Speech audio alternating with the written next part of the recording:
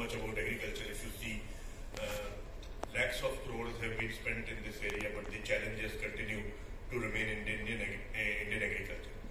Agriculture, 50% of the population is engaged in Indian agriculture, but only 14-15% of our GDP comes from there. And if you take out animal agriculture, which is one third of our agri GDP, आपका जो agriculture pro agriculture का growth है वो एक टका कई साल से है so this is the performance of this sector जो चौरासी percent eighty four percent farmers हैं, उनके पास एक हेक्टेयर से कम ज़मीन है। इसका मतलब ये है कि जो इकोनॉमिक यूनिट है, वो ही अनवायबल है। सॉइल हेल्थ एक बहुत बड़ा इशू है, क्योंकि हम जो है प्रोड्यूस आप कितने सारे आर्टिकल छपते हैं, और इस गवर्नमेंट ने सॉइल हेल्थ कार्ड बनाया कि भाई, अगर सॉइल अच्छी नहीं होगी तो प्रोडक्टिविटी मार खाएगी फ्यूचर में, क्योंकि 140 करोड़ लोगों को खिलाना है। तो एक बहुत बड़ा चैलेंज है सॉइल सॉइल की। दूसरी चीज़ आज का हॉट टॉपिक है कि अनप्रिडिक्टेबल वेदर कंडीशंस अब ये है कि, कि साइक्लोन आ गया उसने मानसून डिले कर दिया। Kharif is 65 percent of Indian agriculture अगर खरीफ में प्रॉब्लम आती है तो फिर रबी उसको पूरा नहीं कर पाता। तो एक वो बड़ा हमेशा हर साल जो है तीस तैतीस साल से तो मैं देख रहा हूँ कि चाहे वो कंपनियाँ हो चाहे वो पॉलिटिशियन हो चाहे वो फार्मर हो हम सब जून में आसमान की तरफ़ देखने लगते हैं। तो ये हमारा अचीवमेंट है। From twenty percent irrigated area we want to about forty forty eight forty nine और fifty percent irrigated area fifty percent of agriculture is still rain fed और ग्लोबल वार्मिंग की वजह से और प्रिडिक्टेबिलिटी का एक प्रॉब्लम है। जब बारिश चाहिए होती है, तब होती नहीं है। जब होती है तो you seen last year heat was very high so the wheat production suffered. Then there was rain during uh, maturity of the crop, so they destroyed some crop this year. तो ये सब जो है बड़ा एक प्रॉब्लम है। Uh, अगर आप देखें तो हम जो है सबसे लार्जेस्ट प्रोड्यूसर है। हमारा लैंड जो है एरेबल लैंड चाइना से ज़्यादा है। और हम लार्जेस्ट uh, प्रोड्यूसर हैं। टॉप थ्री में आते हैं वीट में टॉप थ्री में आते हैं शुगर में टॉप थ्री में आते हैं राइस में चिकन में एग्स में। लेकिन सबसे बड़ा प्रॉब्लम यह है कि वायबल नहीं है बिज़नेस ना फार्मर के लिए, ना कंट्री के लिए.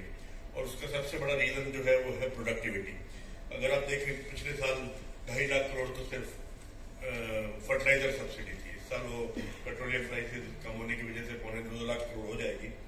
और फार्मर्स जो है, वो आप देखें, सबसे ज़्यादा बड़ा प्रॉब्लम हो रहा है कि फार्मर्स के बच्चे फ़ार्मिंग नहीं करना चाहते because this is not a very lucrative और cool profession profession. Policy also keeps on changing. You heard what happened in farm laws, or uh, we take a lot of measures to make sure that the predictability in production is there because 140 crore people is a lot of people for a country to be food insecure.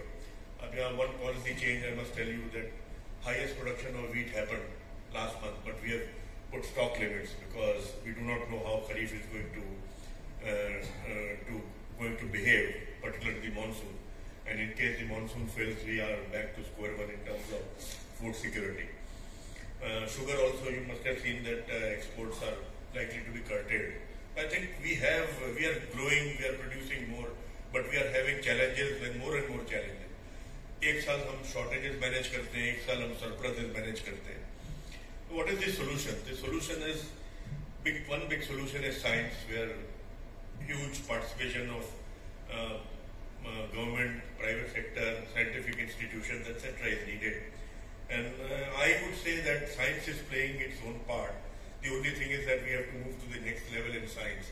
We need to introduce a um, lot of pesticides, etc. very, very quickly. We need to transit to GM. I know it is a sensitive topic, but I have seen this uh, revolution in several countries and you have seen the GM revolution in cotton. So I think that is a technology which we have to adopt uh, come what may. Uh, we have to go for precision agriculture. Policy-wise also government is addressing this problem. they वो उनको पता है कि soil के साथ कितना बड़ा abuse हो रहा है तो जो प्रणाम स्कीम है जिसमें ऑर्गेनिक मैन्योर वगैरह का बात है वो एक बहुत अच्छा स्कीम है घर सरकार का उसमें काफ़ी अट्रैक्शन है और और आना चाहिए और जैसे नैनो यूरिया है क्योंकि हम बहुत ज़्यादा यूरिया इस्तेमाल करते हैं उसका सब्सिडी बहुत जाता है और दूसरा फॉरेन एक्सचेंज भी बहुत जाता है। न्यू जेनेटिक्स मैंने बात करी जीएम की जो नए मॉलिक्यूल नई टेक्नोलॉजीज़ आ रही हैं, उनका अडॉप्शन बड़ा फास्ट होना चाहिए, उनका इंट्रोडक्शन फास्ट होना चाहिए। हमारा सेक्टर जो है रेगुलेटेड सेक्टर है तो गवर्नमेंट के हेल्प के बिना हम ये कर नहीं सकते। तो policy has to be formulated so that जैसे C A for green chemistries जो है बायोलॉजिकल जो है, ये सब चीज़ें जल्दी जल्दी इंट्रोड्यूस की जाए। अभी टेक्नोलॉजी की वजह से सारे देश में मैं ट्रेवल करता हूँ तो एक चीज़ है कि फार्मर को इंफॉर्मेशन की कमी नहीं है just because he has got a smartphone he is connected to the world he knows what is है in the input in the output market weather condition monsoon condition new technological advances the thing is that we just have to make sure that that adoption of new management practice etcetera has to be much faster And Godrej Agrovet has played its part in this journey, and we we are a very innovative company. We have um, slowly, slowly, backbone of this company is going to be R&D.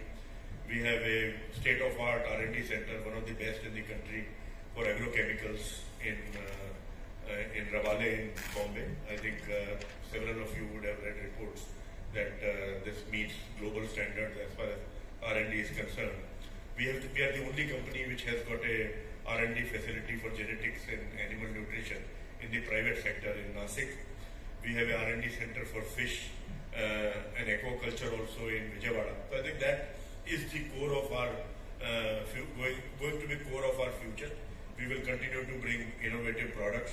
In this division, we have always done that, and I think Gracia and uh, this uh, double is one product which we brought about 25 years ago. 70% of grapes which are exported out of this country use this product. Correct?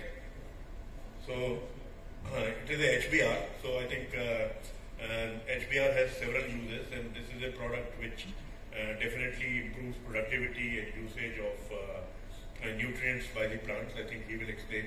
There are several brands we have in HBR. I think he will also talk about that.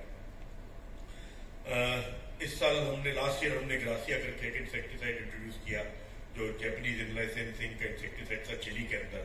तो that has become the most important insecticide in Chile in one year itself. And first year sale was 165 crores and we are likely to more than double this से this year max cot करके एक product है Hitweed Hitweed Max cotton का herbicide है, जिसमें हम market leader हैं।